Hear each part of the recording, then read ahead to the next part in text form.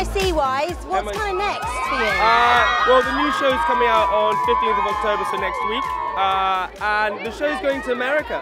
So going to America on the 15th of November or 12th of November, which is huge, you know. And this season, everyone says the next time says it's going to be, you know, this is the best one, but this really is the best one. You're taking the blonde locks stateside. Yeah, we know. I can't wait. You're hoping for worldwide fame over there, or? That's it. I- I'm going- trying to go down the route of presenting, so do all different things, so, you know, like yourself. So trying to do that, and so that's what we're trying to do at the moment. So hopefully, fingers crossed, things work out. Good luck and romance quickly. What's going on there? Um, there's definitely some sort of romance in the show, but I, you know, see what happens. Oh, you're terrible.